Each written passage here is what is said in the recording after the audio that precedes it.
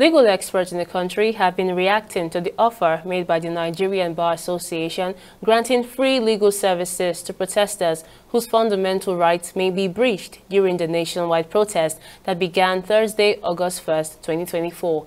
The NBA has also set up an online monitoring form to be filled by persons whose rights have been breached.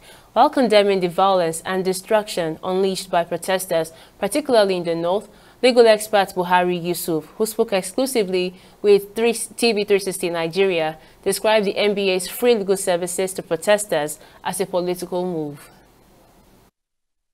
The offer is more like a political statement, but we should be a little bit pragmatic. Should we even allow for the situation before we begin to think of offering pro bono legal services?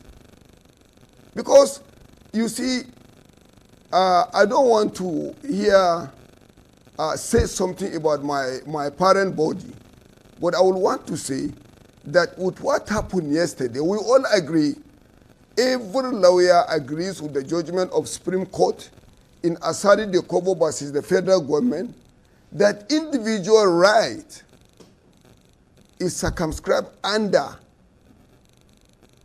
the survival or under national security of a country.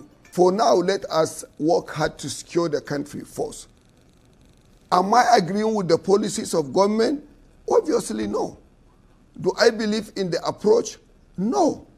But are they comparable facts that we cannot run away from them? Yes. How do we address them? These are the questions that are supposed to disturb our minds for now the situation is not, uh, the picture, the imagery is out there is not encouraging for a proper conversation.